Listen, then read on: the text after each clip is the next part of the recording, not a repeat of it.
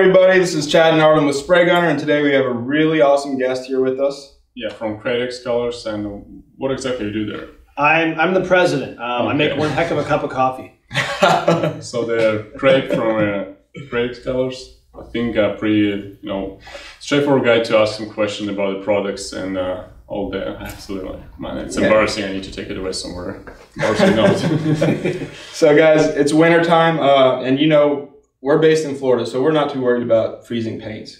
But we do know the rest of the country has that issue, uh, and we ship a lot of water based paints from Createx. So, one of the things we offer is two day shipping. Um, and, Craig, I wanted to ask you Yeah. what paints from Createx can survive freezing and then thawing? Yeah. Good question. Um, our traditional paints, like the Createx airbrush colors and the other acrylic only paints, like the Wicked colors and the newer illustration colors, those survive a freeze thaw. Do you want to let it freeze thaw? No. Um, sometimes pearlescence, uh, they cannot maybe come back into as good of a solution. And depending how deep and uh, uh, long of a freeze, even some colors could change a little bit of their hue. You, you could affect the pigment itself. But generally speaking, the traditional Createx airbrush colors, Wicked colors, Auto-Air colors, and the Createx illustration colors will survive a freeze thaw. It's our newer products that don't. Um, the urethane-based products like the 4030 Balancing Clear, Autoborn Sealer, although it's an acrylic, it, it performs more like an epoxy. It's a much different type of acrylic. It doesn't survive a freeze thaw. Then we have our Candy 2O, the aniline dye colors. They'll gel. They do not come out of a freeze thaw. The acrylic in the paint might, but the, the aniline dyes are wasted if they freeze. and some of you might know of our newest uh, product, the Scenix line, which is our architectural uh, theming paint. That's an acrylic urethane. And again, anything with the urethane resin, you don't want to have it freeze because when it thaws out, it, still maintains its gel-like solid state. It doesn't become a liquid again. So regular Createx, Auto-Air, Wicked, illustration colors, uh, these will freeze and thaw. Uh, the newer paints like 4030, Autoborn Sealer, Candy 2.0, Scenix, once they freeze, they don't come back. Yeah, but for for Wicked, let's say we have the Yeah. frozen bottle, we put it on the warm, and now it's Yeah. again liquid again. Do we have to treat it a special way, like filter? Eh, okay. Yeah, I mean, it depends upon the project. If you're painting a test panel or something for fun, I wouldn't worry about it. If it's something for a client or something you're mm-hmm. working on, I, I would definitely recondition the paint. I'd run it through a strainer. If it looks like it's too thick or you want to reduce it, it's best sometimes to add a little more resin into the paint. Remember, if paint gets thick and we're straining it and it seems like we want to make it more uh, fluid again, it's better to use the transparent base from that line rather than reducer. Meaning, if I had uh, Createx airbrush colors freeze, I'd rather add 5601 transparent base than 4012. The 5601 transparent base is adding more resin into the paint. Therefore, it maintains the, the properties such as adhesion, coating performance, mar resistance, you know, the basic things you want your paint to do. Whereas if you just add the 4012 or 4011 to the paint, it might get viscous and able to spray, but you might have lost some of that adhesion. And after doing that again, it's not a bad idea just to strain it again, just to make sure there's no like little conglomeration of pigment that is going to get through. Okay. All right, thanks for yeah. But still, the spray gunner running this uh, winter special right now for a limited uh, limited time because the winter's ended in February. I hope, like, and it's Yeah. just uh, in 20, Coming 20, yeah. 25 more days. Yeah, We're ready but, for uh, spring. Punxsutawney Phil did say it'd be an earlier spring this year. Sometimes he's wrong, but they, they, they brought out Punxsutawney Phil last week and he Right. said spring's coming early. Right now, it's what almost 80 here in Florida. Do you Yeah. enjoy it from uh, after Connecticut? Uh, Connecticut's not exactly 80. Yeah, We, we're, we're waiting for spring. Okay. One of the most popular questions we hear now is uh, metal flakes used all around. Which is the best flakes carrier from your product line? Which product would be you know, used? We have a few options. I like the 4030 Balancing Clear. 4030 Balancing Clear, it's a urethane intercoat. Uh, other paint lines, this would be called simply intercoat or intercoat clear. We use it to add to our paints to make an acrylic urethane, but it is a good clear in of itself. Not a top coat clear, although it has durability, but it's not what we consider a top coat clear. But it's a great inner coat, and usually when you mix flake or pearls, you want something that has a little bit of build, you want an inner coat. And so the 4030 does a good job. You can use the transparent bases like the 5601 from the Createx line or the 4004 for Wicked and Auto-Air, but these have a lower build and the, the, the, the, Pearl Flake will have a little more texture when you're done. Mm-hmm. So if you're coming over taping, you're going to get a little more underspray. Whereas the 4030 is going more of a level coating. It has a little more material so you can tape on it over that Pearl Flake without getting over underspray and more texture bothering you. There's other products too. There's the 6000 Autoborn transparent sealer. That's a great uh, pearl flake carrier. There's the 4040 bleed checker. But if you had a whole line and had one product to choose, I would use the 4030 balancing clear. But then next to that would be the 6000 transparent base or the transparent sealer from the Autoborn line. Yeah, you guys. You bring up the 4040. Um, mm-hmm. So I have an interesting question because yeah. I don't use anything larger than a 0.5 millimeter. Sure. Um, but I had an issue getting the 4040. I can't thin it obviously with 4012 if I'm spraying over a candy uh, because the bleed through is still going to happen. What is there anything I can use to thin that to get yeah. it through there? Yeah. Um, so the 4040 is a product that we intended to go out of the bottle over the candies to prevent bleeding or leaching. Meaning, if you put mm. white over candy, that white will be uh, magenta as the bleed, the red mm-hmm. bleeds through it because it's a dye, not a pigment. There's different kind of curing characteristics. Normally, painters would put a catalyzed urethane clear over the candy to prevent the bleeding. The 4040 does this a lot quicker. You, without having to wait like a two hours or four hours to clear to set, you can do a little bit of airbrushing, put the 4040 over it, wait 10, 20 minutes and keep going. If you're having a hard time getting the 4040 through an airbrush, you can reduce it with 4012. This is in the product itself, but it's also in the candies. And why we don't like reducing the 4040, it's a commonality of material. We're making a bridge. The 4040 mm-hmm. is not a catalyzed product, so we're using dissimilar materials. Mm-hmm. It's kind of like an oil and water effect, if you will. And if we use 4012 in both the candy and the 4040, we're creating a commonality of product that makes it easier for those dyes to leach through. So there's a few things you could do. In the candy itself, you can increase the amount of 4030 you have in the product. The more 40-30 used to balance out the candies, the less the bleeding is because there's more encapsulation mm. of the, the candy dye. So that's your like your first step. And then the second one is you could use like 4011 or distilled water to thin out the 4040 and thus eliminate that commonality of solvent. Okay. Okay. Thank you. Yeah. yeah. Yes. Distilled water is something new I learned today because I didn't even think about the difference between between just water and distilled water. But yeah, it's pretty much pretty much big difference, and we are probably stuck to you know recommended our users, our buyers to add some of that to their arsenal of paints because yeah sometimes it's pretty, pretty cheap. I mean, it's pretty cheap. Some no-name distilled water bottles. yeah, it's might be the way, but yeah.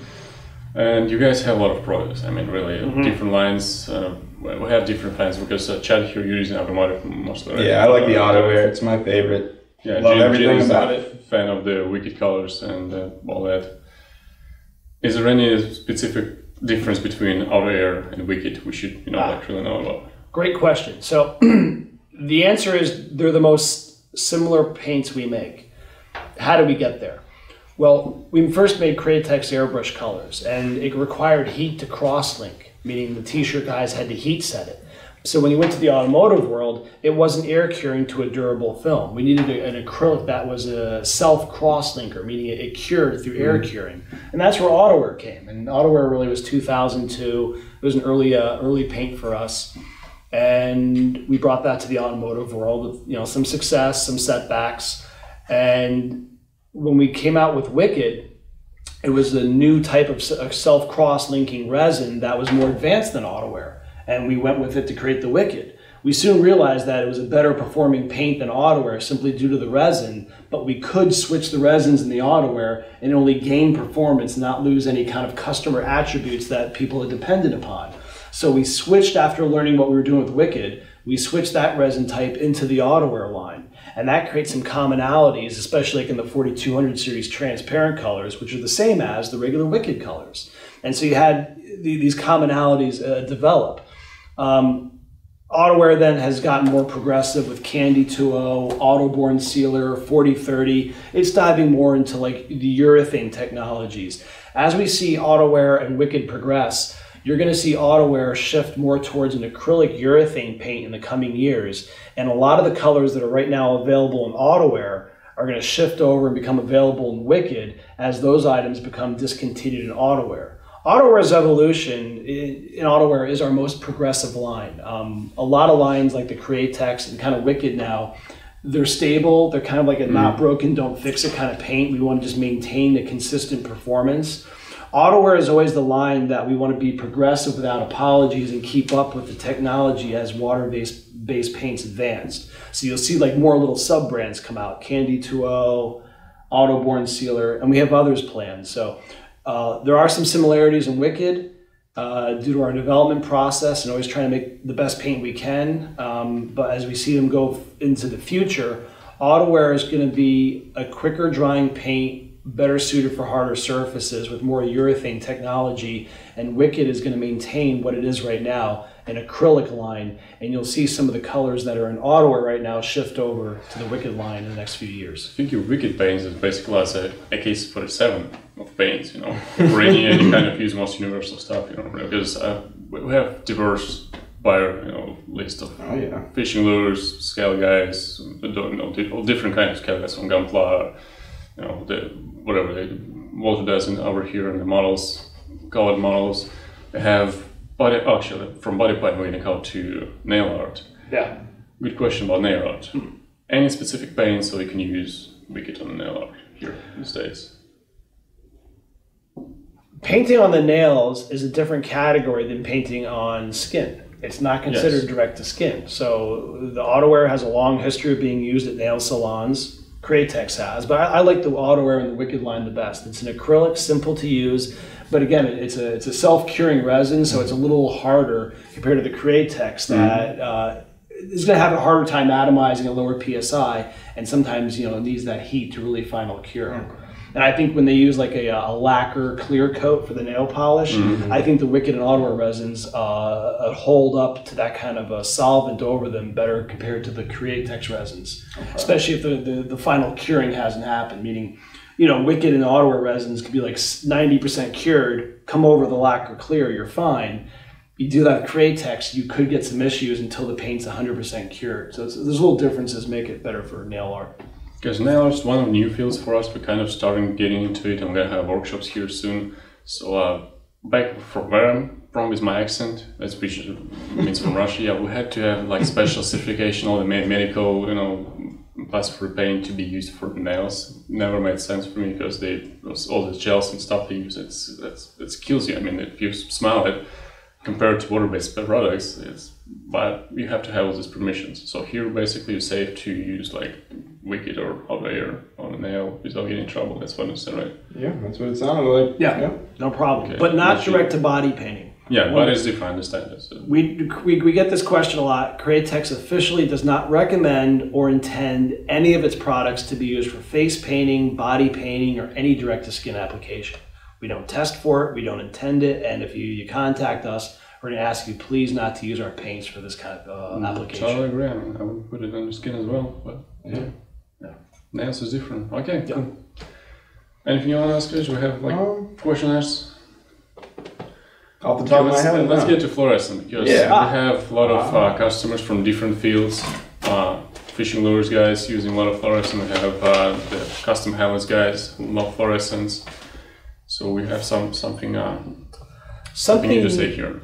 Yeah, so something new from Createx. We, over the winter, at Christmas, we've been working on fluorescent colors. And, you know, nothing too crazy on fluorescence, pretty tried and true product, but we learned to take the blue shift out of the hue of the resin, meaning a lot of acrylic resins have a slight blue hue to them. And when you're working with a very bright, vibrant, transparent pigment like a fluorescent, this can affect the color we developed the process eliminating the blue shift out of the entire uh, fluorescent color and the base white that a fluorescent normally is applied over. And the result is a much more brilliant fluorescent. Um, probably hard to pick up on the camera, but compared to the colors that do have a blue shift, these colors are much more vibrant. We've also learned a little bit uh, on, on making the color itself to make it vibrant without a certain UV additive that we're eliminating that allows the UV to kind of fluoresce more.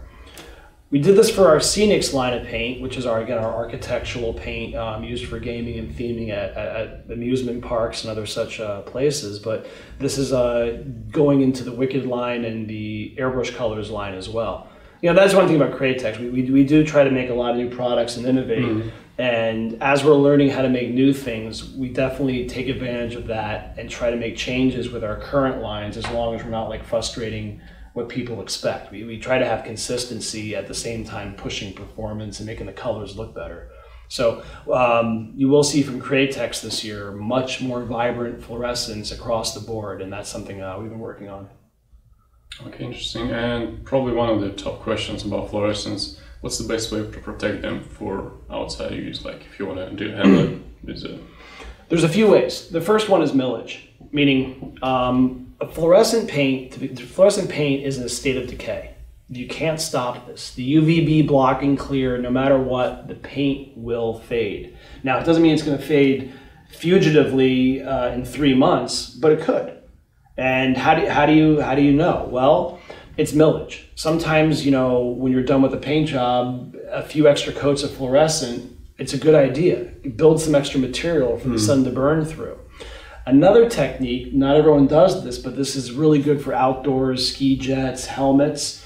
Instead of putting a fluorescent color over a traditional white, color key it.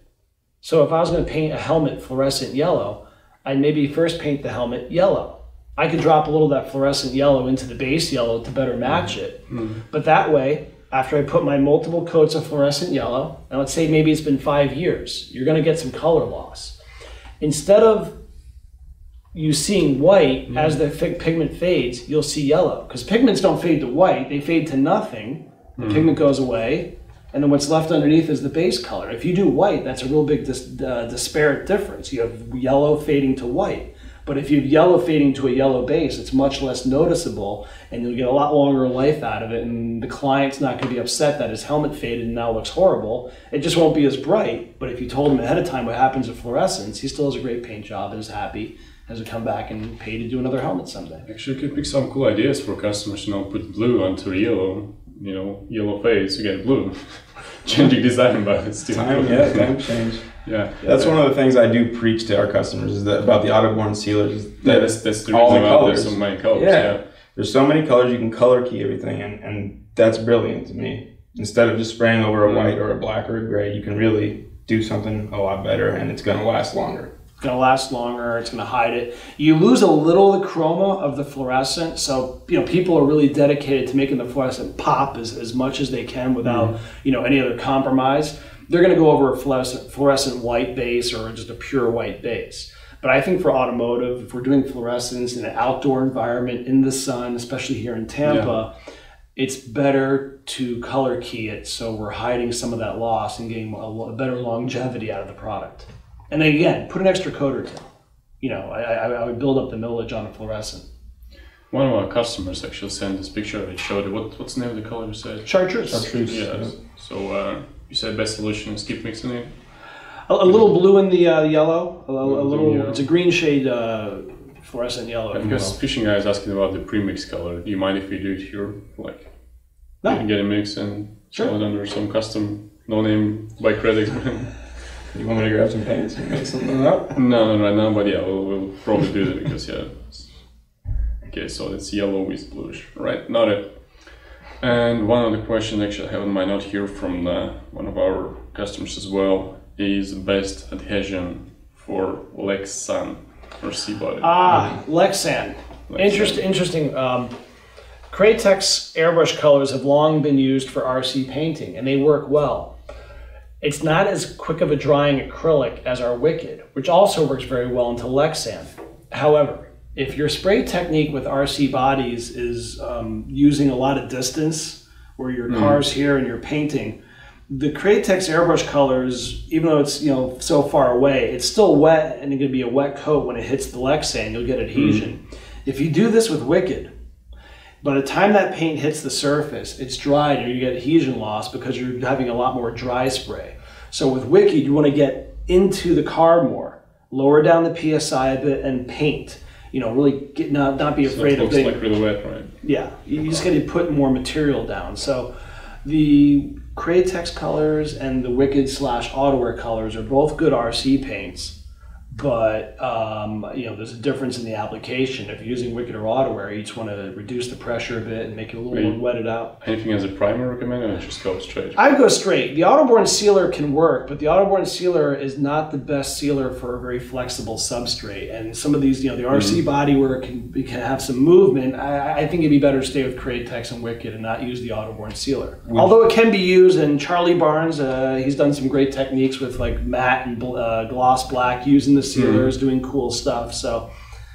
This is just my opinion. Again, it's up to the artist. It's always subjective artist preferences that rule the day. I've always said you could put 10 great artists in a room, each using the same paint, you'll have 10 different ways of reducing the paint and using it. And everybody's Definitely right. true, Yeah. So there's some nuances, but they, they both generally work. Would you want to mix that down with 40 30 for better adhesion, or would that cause issues possibly? I, I think like a 10% 40 30 in there is good. I, I wouldn't put too much in there to make it really stiff, but a mm-hmm. little 40 30 helps. But you don't have to. You know, I mean, again, subjective preferences. At, at the factory, I'm, I'm used to adding 40 30 to everything. Know, so I would definitely add the 40 30, but you know, you're gonna it's gonna work well, especially for tape outs. But the RC guys don't use it, and they really don't need to. It seems to work well without it. Cool.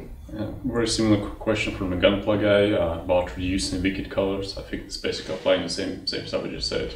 Probably 10% of 2012, close to, to the surface. Yeah, now, right? now Gunplas. This is uh, more of like a harder, uh, non-flexible model we're talking about. Yeah, it's plastic. Um, Here, I would use the 3D print compo- uh, the uh, the Autoborn sealer.